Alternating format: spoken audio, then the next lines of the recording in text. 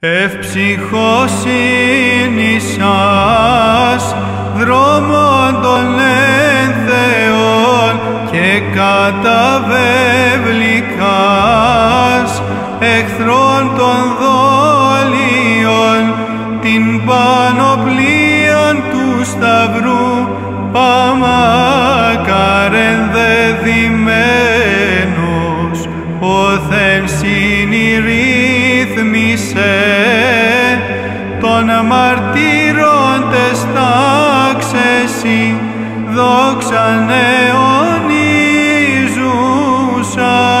και εκτιμένος ευψυχίε αλλά μη διαλείπεις πρεσβεύων σώσε